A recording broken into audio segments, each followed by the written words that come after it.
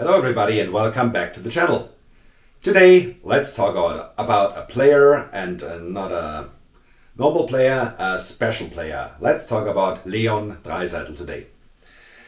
This guy whose jersey I have here in the Oilers Reverse Retro, hand stitched by Cool Hockey. This is a wonderful jersey. I love the customization, absolutely fantastic. And I wanted this player's jersey. That's why I didn't order the jersey anywhere else but Cool Hockey. So let me put it on and then let's talk about Leon. This jersey is fantastic. It feels so good wearing it. Okay, Leon Draisaitl. Born October 27th, 1995. So he's right now at the day of recording, 26 years old, so he's in the middle of his prime. He's a fantastic player, leading scorer right now in the NHL, but let's have a look at the history. He played his uh, youth in uh, Germany, of course, in uh, Cologne, where he was born. Then he was transferred to the Adler Mannheim, where he played German juniors. He started there in 2009 and played for three seasons until 2012. Then, at this point, he was 16 years old. Then came the 2012 CHL International Draft, where he was picked second by the Prince Albert Raiders of the WHL. He played uh, in the 2012-2013 season 64 games for the Raiders, 21 goals, 37 assists for 58 points, and he was a plus 22, which is really impressive for a then 16 to 17 year old who is playing his first season in North America. 2013-2014 again for the Raiders, 64 games played, 38 goals, 67 assists, 105 points. For a uh, to be drafted player, this is this are very good stats.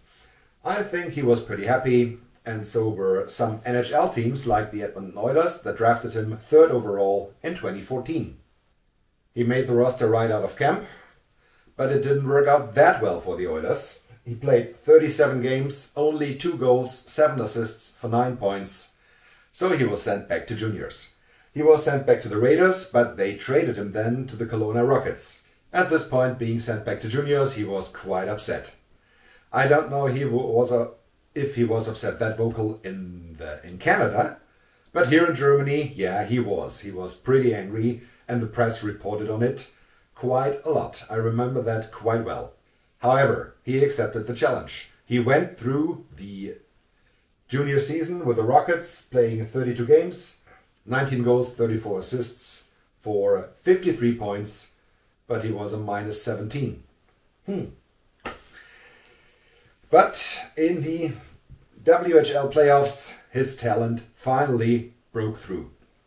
19 games played in the playoffs, 10 goals, 18 assists, 28 points, and he was the 2015 WHL Playoff MVP.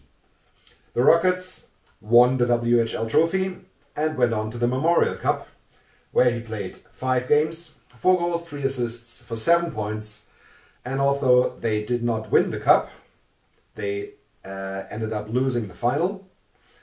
He was named the tournament MVP in the Memorial Cup 2015. Not bad. So 2015-2016 rolled around and he did not make the Oilers out of camp. He again was quite vocal about that in Germany. I don't know if in Canada as well. Here the press again. Oh, what are they doing with with uh, Draisaitl? Why don't they let him play? Oh man, the Oilers are so evil. He played for the Bakersfield Condors, six games, one goal, one assists, one assist, two points, and he was a minus five. So no good stats at this point. Due to uh, injuries, he then got called up to the Oilers. Ended up playing 72 games, 19 goals, 32 assists, 51 points, ending a minus two, which is which was okay for an Oilers team that was not that good in this year. But this was his breakthrough. Finally, he showed his talent at the NHL level and uh, people recognized his talent. Then, 2016-2017. Again with the Oilers, all 82 games played, 29 goals, 48 assists for 77 points. He was a plus 7. In the playoffs, 13 games, 6 goals, 10 assists, 16 points, and a plus 8. Quite impressive. The Oilers made it to the second round but got eliminated. But Leon broke a record this season. He scored the most points by a German born player in one regular NHL season. Record was previously held by my guy from Landshut, Marco Sturm, who had scored 59 points in the 2005 2006 season. The record then went to Leon Draisaitl with 77 points, and since then he is improving his own record. He also got awarded in 2017 with an eight year contract extension for $8.5 million. Seemed a little bit high at the time. Right now, he his contract is the biggest bargain of them all in the NHL, and he's making $8.5 million.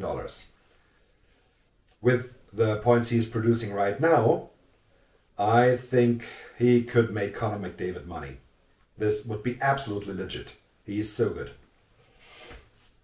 Anyway, 2017-2018, the Oilers fell then out of the playoffs again. Leon played 78 games, 25 goals, 45 assists, 70 points, and a minus 7. On a not that good team. Yeah, consolidation season. 2018-2019, he really took off. 82 games played, 50 goals, 55 assists for 105 points. And he was a plus 2 on an Oilers team that did not make the playoffs, but seeing a 50 goal scorer being only a plus 2, his defense was not up to the standard. So let's go to the 2019-2020 season. 71 games, 43 goals, 67 assists, 110 points, and he was a minus 7. On an Oilers team that at this time was not bad. They made the playoffs but got elim eliminated in the qualifying round by the Blackhawks Four games for Leon, three, three goals, three assists, six points, and a plus one. So it was not on him that the Oilers didn't make it past the qualifying round. Anyway, with 110 points, oh, I didn't mention, 1819 was his first All Star game, 1920, his second All Star game. Uh, for the 2019 2020 season, he won uh, the Art Ross with 110 points. He won the Hart and the Lindsay and was named here in Germany Sportler des Jahres, so uh, Sportsman of the Year for 2020. And this was only the second time that a uh, team sports player who does not play football slash soccer won this award here in Germany. And the first was, of course, yeah, number 41, Dirk Nowitzki. I think you heard about this guy. He was quite good as well. So, 2020-2021. Leon played all 56 games, 31 goals, 53 assists, 84 points, and a plus 29. In this season, 2020-2021, his defensive game made a huge jump. That's why I would have nominated him for the Selke Award. Because of this big step. Having a 105 point season uh, sorry, having a 110 point season being a minus 7 to having an 84 point season going a plus 29, this was significant. And this was, I think, the last step that missed in his game. Now, with the defensive game being where it is right now, he definitely has to be considered for the Hart every year. He is McDavid level. He's that good showing it again this year, 2021, 2022. At the day of recording, what do we have today? Ah, November 26th. 19 games played, 20 goals, 20 assists, 40 points, and a plus 13. Sky is the limit. Not only for Connor McDavid, who can score 150 points this season, Leon Draisaitl can do it as well. And uh, the discussions can be up. Who is the better player? The better, the better overall player? Is it McDavid or is it Draisaitl? having these two guys on one team, yeah, that's almost unfair. They can score at will at the power play. They can score at will, five on five. They are fantastic. I think with uh, McDavid's game being already there and Leon pushing up his game starting last year, now the Oilers are a real contender. And it's not only about McDavid, it's also about Leon Draisaitl. And that his contract with $8.5 million is a bargain. Alright, that's it for this one. Thank you very much for watching. Don't forget to hit like and subscribe. And see you soon with another video about hockey on the channel. Next one will be jersey ranking coming up in three days. Then we will talk about the Pacific Division and the Oilers are of course in. So thanks again for watching. Have a good time. See you soon. Goodbye.